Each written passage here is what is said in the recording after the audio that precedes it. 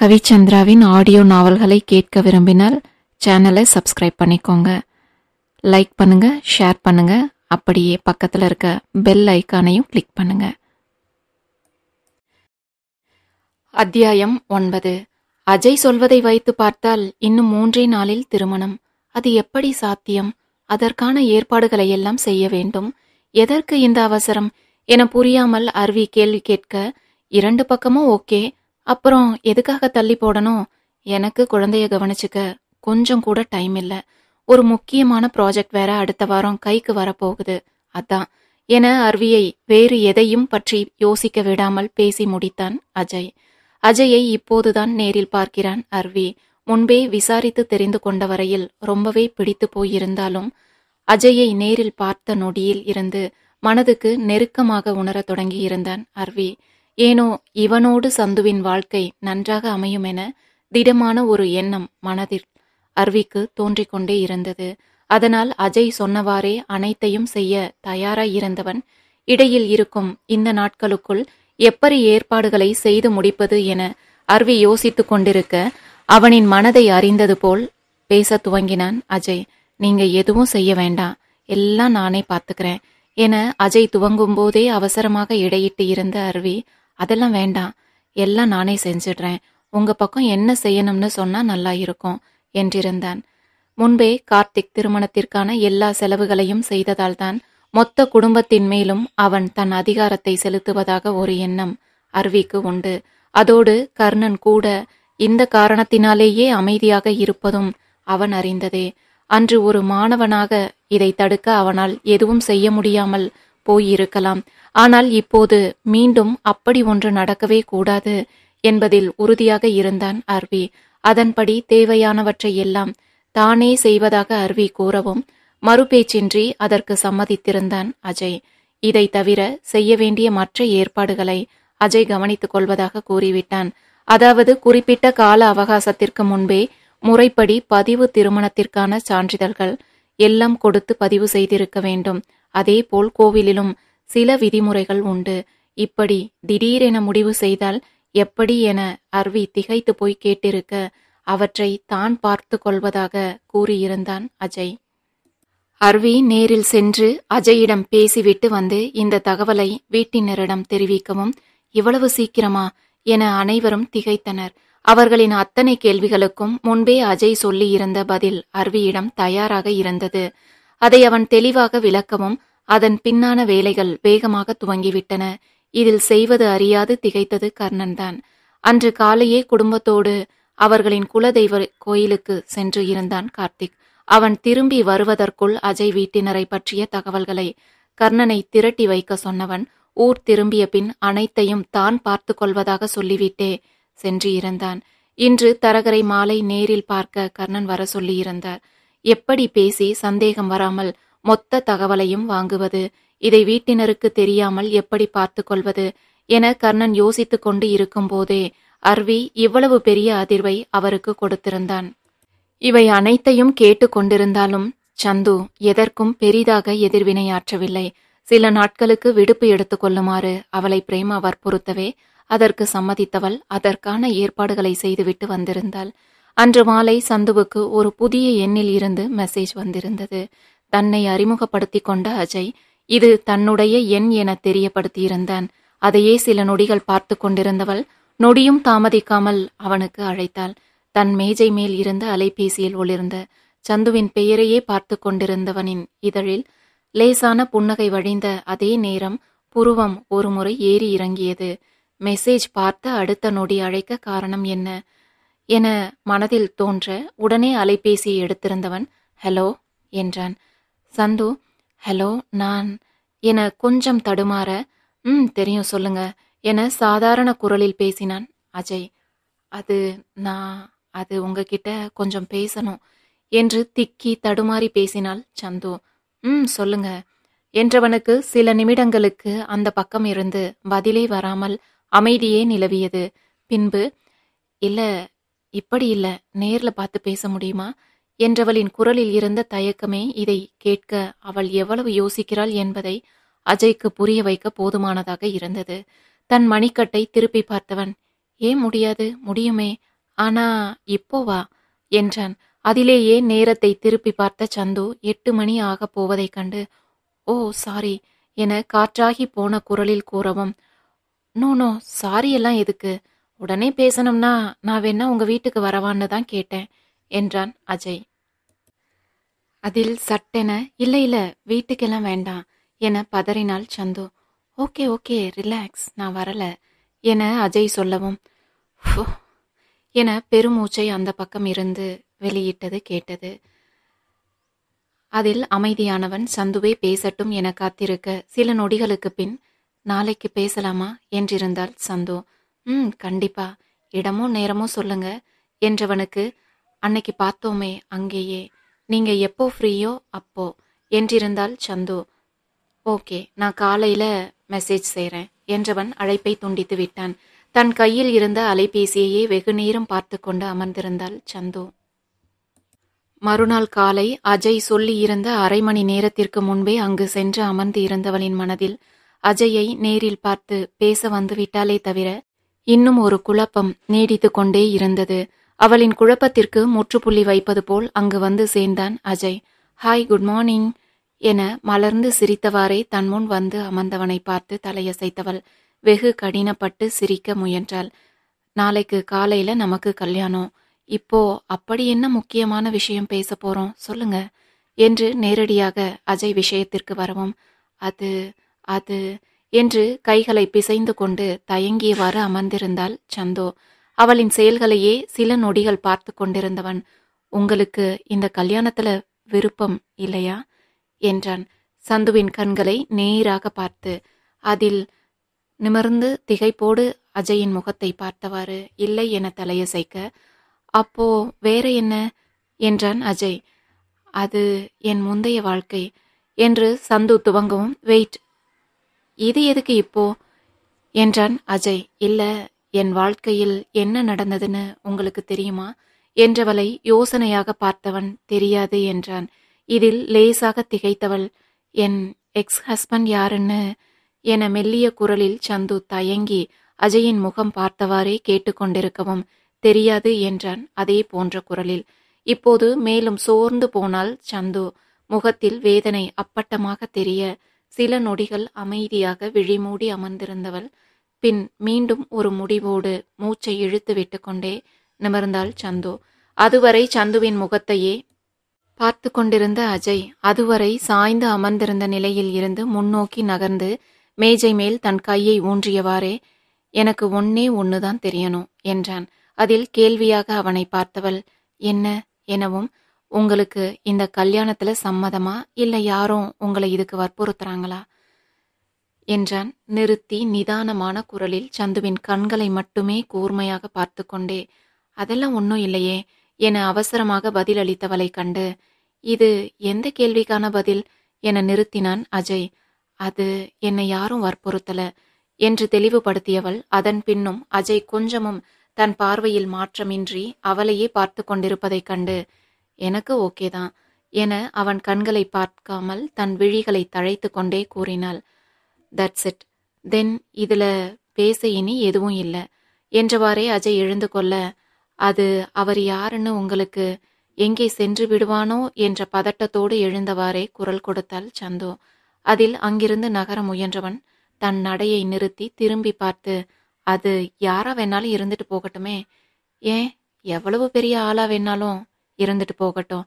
அதான் நீங்களே கொஞ்ச நேரம் முன்ன உங்க எக்ஸ்ன்னு சொல்லிட்டீங்களே. அப்புறம் அந்த எக்ஸு ஒய்யு இசட் பற்றின ஆராய்ச்சி எல்லாம் எனக்கு எதுக்கு? நாளைக்கு இந்த நேரம் நமக்கு கல்யாணமே முடிஞ்சு இருக்கும். அதுக்குள்ள நான் முடிக்க வேண்டிய வேலை நிறைய இருக்கு. பாய் என்று தன் கை கடிகாரத்தை சுட்டி காண்பித்தவாறே சொல்லியவன் சென்று விட்டான். அஜய் சென்ற திசையையே நம்ப முடியாத பார்வையோடு திகைத்து பார்த்து கொண்டிருந்தாள் சந்து. திருமணத்திற்கு முன்பே அனைத்தையும் தெளிவாக பேசிவிடலாம் என்று வந்திருந்தவள் இப்போது அவள் மனதில் எண்ணி வந்த எதையும் பேசாமல் திரும்பி சென்று கொண்டிருந்தாள்.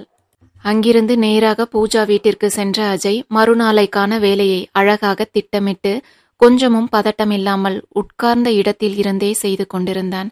அவனையே இமைக்காமல் பார்த்து கொண்டிருந்த பூஜா உனக்கு உண்மையிலேயே சைந்தவியை பிடிச்சு இருக்கா அஜய்? என்றாள். ஹே நாளைக்கு கல்யாணத்தை வச்சுக்கிட்டு இது என்ன சந்தேகம் உனக்கு? என்றான் தொடர்ந்து தன் வேலையை கவனித்துக் கொண்டிருக்க அதான் சந்தேகமா இருக்கு அஜு. இத்தனை நாள் கல்யாணமே வேண்டான்னு சொல்லிட்டு இருந்தவன் இப்படி திடீர்னு மூணே நாள்ல அவசரமா கல்யாணத்தை நடத்துறேன்னா நான் என்னன்னு நினைக்கிறது என்றாள். ம் சைந்தவியை பார்த்ததுமே அவ்வளவு பிடிச்சு போச்சுன்னு நினை. என வெகு சாதாரண குரலில் கூறியவன் திரும்பி பூஜாவை பார்த்து கண்ணடித்தான். இதை என்னால நம்பவே முடியலன்னு சொல்றேன் அஜு. இது உன் டிசைன் இல்லையே என விடாமல் கேள்வி எழுப்பியவளை போலி கோபத்தோடு பார்த்தவன் அடே எங்கப்பா ஸ்ரீ இவளை எப்படிடா வச்சு சமாளிக்கிற? உனக்கு கோவில் கன்ஃபார்மா கட்டுறேண்டானா என்றான். அதற்கு ஸ்ரீ சத்தமாக சிரிக்கவும் அஜயும் அவனோடு இணைந்து கொண்டான். அதில் கடுப்பானவள். எல்லாம் ரொம்ப வேகமா நடக்கிறது போல இருக்கே. இது உன் டிசைன் இல்லையேன்னு தான் நான் கவலைப்பட்டா உங்களுக்கு எல்லாம் நக்கலா இருக்கா? என கோபத்தோடு அருகில் இருந்த குஷனை எடுத்து இருவரின் மேலும் வீசினாள் பூஜா ஹே பூஜ் என்ன என் டிசைன் இல்லை? ம்? ஜெனிய நான் ஒரே நாளில் கல்யாணம் செஞ்சது மறந்து போச்சா? என்றவன் புருவத்தை கேலியாக உயர்த்தவும் அதுவரை அவர்களிடம் கோபப்பட்டு கொண்டிருந்தவள் ஆவலாக விழிகள் மின்ன அஜயை நெருங்கினாள். அஜு அப்போ உனக்கு நிஜமாவே அவங்கள பிடிச்சிருக்கா? என எதிர்பார்ப்போடு அவன் முகம் பார்த்து கேட்க இல்லனா இது கல்யாணம் வரைக்கும் வந்து இருக்குமா என்று எதிர்கேள்வி கேட்டானே தவிர அஜய் நேரடியாக பதிலளிக்கவில்லை. ஆனால் அதையெல்லாம் கவனிக்காமல் அஜயின் பதிலிலேயே சந்தோஷமானவள். அப்பா இது போதும். இப்போதான் சந்தோஷமா இருக்கு. எங்க என் தொல்லை தாங்காம தான் நீ இந்த முடிவுக்கு வந்தியோன்னு பயந்துட்டு இருந்தேன். இருங்க இந்த சந்தோஷத்தை கொண்டாட ஸ்வீட்டோட வரேன் என்று அஜயை அன்போடு அணைத்து விடுவித்த பூஜா உள்ளே சென்று விட ஷப்பா என மூச்சை இழுத்து விட்டு கொண்டான் அஜய். உள்ளே சென்ற பூஜாவுக்கு இவ்வளவு நேரம் மனதை அழுத்தி கொண்டிருந்த பாரம் இறங்கியது போல் இருந்தது. எங்கே அவசரப்பட்டு முடிவெடுத்து விட்டானோ அப்படி ஒரு முடிவெடுக்கும் நிலைக்கு தொடர்ந்து தொல்லை கொடுத்து அவனை கொண்டு சென்று விட்டோமோ என்ற உறுத்தல் இருந்து கொண்டே இருந்தது. அது இல்லை என்று அஜய் தெளிவுபடுத்தியதே இப்போது பூஜாவுக்கு போதும் என்றானது. இதற்காகவே சம்பந்தம் தேட தகவல்களை கொடுக்கும்போது அவனின் உயரத்திற்கும் பணத்திற்கும் ஆசைப்பட்டு எவரும் வரக்கூடாது என்றே அஜய் பற்றிய அத்தனை தகவல்களையும் கொடுக்காமல் ஸ்ரீயோடு அவன் இணைந்து நடத்தும் தொழிலையும் அவன் தங்கி இருக்கும் வீட்டையும் மட்டுமே விவரத்தில் கொடுத்திருந்தாள் பூஜா. இனியாவது அஜயின் வாழ்க்கை நன்றாக அமைய வேண்டும் என்ற எண்ணம் மட்டுமே அதற்கு காரணமாக இருந்தது. இது அவனின் முதல் திருமணமாக இருந்தால் கூட பரவாயில்லை. ஆனால் இங்கு ஸ்மிருதியின் வாழ்க்கையும் இதில் இணைந்துள்ளதே. சந்து இவ்வளவு அவசரமாக அதை அஜயிடம் பேச வர காரணம் கார்த்திக். அவள் முதல் நாள் அஜயை பார்த்துவிட்டு வந்த அன்று நள்ளிரவில் கார்த்திக்கிடமிருந்து சந்துவுக்கு அழைப்பு வந்தது. இந்த திருமணத்திற்கு அஜய் சம்மதித்த செய்தியை கேள்விப்பட்ட நொடியில் இருந்து கொந்தளித்து கொண்டிருந்தவன் சந்துவிடம் தனிமையில் பேச நேரம் எதிர்பார்த்து காத்திருந்தான். ஆனால் கார்த்திக் எதிர்பார்த்திருந்த நேரம் அவ்வளவு சீக்கிரம் அவனுக்கு அமையவே இல்லை. இரவெல்லாம் இந்த ஏற்பாட்டை எப்படி தடுத்து நிறுத்துவது என்ற யோசனையிலேயே விழித்து இருந்தவன் சந்து அவனை சென்று சந்தித்துவிட்டு வந்ததாக கர்ணன் சொன்னதே மீண்டும் மீண்டும் நினைவுக்கு வந்ததில் ஸ்ருதி தூங்குவதை உறுதி செய்து கொண்டு எழுந்து வெளியில் சென்று சந்துவுக்கு அழைத்தான் கார்த்திக். முதலில் அவனின் அழைப்பை ஏற்காதவளை தொடர்ந்து மெசேஜ்கள் செய்து எடுக்க வைத்திருந்தவன். அந்த கோபத்தையும் சேர்த்து அவளிடம் எடுத்ததும் வார்த்தைகளில் கொட்டினான். எவ்வளவு திமிரு இருந்தா நீ எவனையோ போய் பார்த்திருப்ப என்று துவங்கி அவன் மனதில் எரிந்து கொண்டிருந்த நெருப்பை அப்படியே வார்த்தையில் சந்துவின் மேல் கக்கினான்.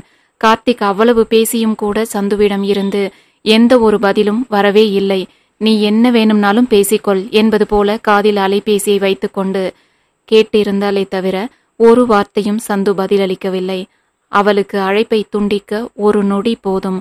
ஆனால் மீண்டும் மீண்டும் அழைப்பான் என்பது சற்று முன் அழைப்பை ஏற்காத போது அவன் தொடர்ந்து கொடுத்த தொல்லையிலேயே புரிந்து போனதில் மட்டுமே அமைதியாக இருந்தாள் சந்து.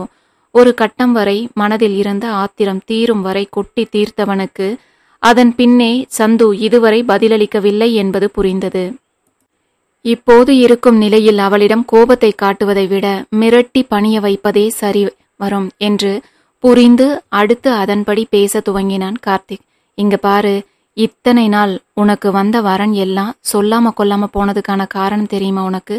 நான் உன்னை டிவோர்ஸ் செஞ்சுட்டு ஸ்ருதியை கல்யாணம் செஞ்சு இருக்கிறது அவங்களுக்கு தெரிய வந்து இருக்கு எங்கே அவங்கள கல்யாணம் செஞ்ச பிறகும் கூட நீ என் கூட நெருக்கமா இருப்பியோன்னு சந்தேகத்துல தான் தரகர்கிட்ட இந்த சம்மதமே வேண்டான்னு சொல்லிட்டு போயிட்டாங்களாம். என்றவன் கொஞ்சம் நிறுத்தி சந்து ஏதாவது சொல்லுவாள் என்று காத்திருக்க அவளோ அதே அமைதியை கடைபிடித்து கொண்டிருந்தாள். லேசாக பயம் காட்டினாலே மிரண்டு விடுவாள். அதன் பின் அதையே வைத்து தான் நினைத்ததை சாதித்துக் கொள்ளலாம் என்று நினைத்திருந்தவன். சந்துவின் இந்த அமைதியில் பல்லை கடித்தான். பின் மீண்டும் இப்போ இதை பற்றி கவலையே படாம உன்னை கல்யாணம் செஞ்சுக்கிறவங்க கூட அப்புறம் இதை வச்சு உன்னை சந்தேகப்படலாம். நாம எல்லாரும் ஒரே குடும்பம் அடிக்கடி சந்திக்க வேண்டி வரும். அப்போ ஒவ்வொரு விஷயத்துக்கும் சந்தேகப்பட ஆரம்பிச்சா உன் வாழ்க்கையே நரகமாகிவிடும். உனக்கு புரியுதா? என்றான். ஆனால் அப்போதும் சந்து அமைதியாகவே இருக்க இப்போ எதுக்கு சந்து இந்த கல்யாணம்? அது இதுன்னு தேவையில்லாத பேச்சு எல்லாம் உனக்குன்னு ஒரு குடும்பம் வேணும்னு தானே. அதான் நான் இருக்கேன். நம்ம பொண்ணு இருக்கா? அப்புறம் என்ன சந்தோ? இதுக்கு மேல உனக்கு என்ன வேணும்? எனக்கு ஒரே ஒரு மாசம் அவகாசம் கொடு. ஸ்ருதி கிட்ட பேச வேண்டிய விதத்தில் பேசி நான் சம்மதிக்க வைக்கிறேன். அப்புறம் நாம எல்லாம் ஒரே குடும்பமா ஒன்னா வாழலாம். நீ எதிர்பார்த்த மாதிரியே வாழலாம் என்று அவளின் மனதை மாற்ற எண்ணி கெஞ்சல் குரலில் பேசினான் கார்த்திக். இந்த வார்த்தைகளில் கரைந்து அவனுக்கு தலையாட்ட வேண்டியவளோ அதற்கு நேர்மாறாக அழைப்பை துண்டித்து இருந்தாள்.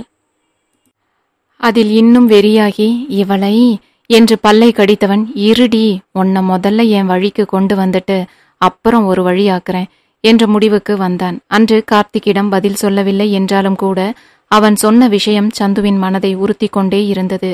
இப்படி நடக்கவும் வாய்ப்பிருப்பது புரிய திருமணத்திற்கு முன்பே இதை பற்றி தெளிவாக பேசிவிடுவதே சரி என்ற முடிவோடே அஜயிடம் பேசிவிட வந்திருந்தாள். ஆனால் அவன் அவ்வளவு எளிதாக அதை பற்றி கேட்கக்கூட விரும்பவில்லை என்று விட்டு சென்று விடவும் இன்னும் பல மடங்கான குழப்பத்தோடு வீடு திரும்பியிருந்தாள் சந்து. இதற்கிடையில் கர்ணனின் மூலம் விவரம் கார்த்திக்கிற்கு சென்று சேர வேண்டிய நேரத்திற்கு சேராமல் தாமதமாகவே சென்று சேர்ந்ததன் விளைவாகவே திருமணத்தன்று காலையே குடும்பத்தோடு வந்து இறங்கினான் கார்த்திக். கார்த்திக் அங்கு வந்தபோது மொத்த குடும்பமும் கிளம்பி தயாராக இருந்தனர். அதை கண்ட நொடி எப்படி இவ்வளவு சீக்கிரம் இப்படி ஒரு முடிவுக்கு வந்தா? என எழுந்த ஆத்திரத்தோடு அவன் சந்துவை தேட அவளோ பெரிதாக எந்த அலங்காரமும் இல்லாமல் சிகப்பு நிற சிறிய பார்டரோடான பட்டுப்புடவையோடும் ஒரே ஒரு லாங் செயினும் அணிந்து பெரிதாக எந்த அலங்காரமும் இல்லாமலேயே அழகாக தயாராகி அமர்ந்திருந்தாள். அந்த அலங்காரம் வேறு ஒருவனுக்கானது என்று எண்ணும்போதே கார்த்திக் மனம் கோபத்தில் கொந்தளித்தது. கர்ணன் இந்த விஷயத்தை ஏன் தனக்கு முன்பே சொல்லவில்லை? விவரம் தெரிந்த அன்றே சொல்லியிருந்தால் இடையில் இருந்த மூன்று நாளில் எதையாவது செய்திருக்கலாமே. நேற்று இரவு விவரம் அறிந்து அடித்து பிடித்து ஓடி வரவே இவ்வளவு நேரமாகி இருந்தது.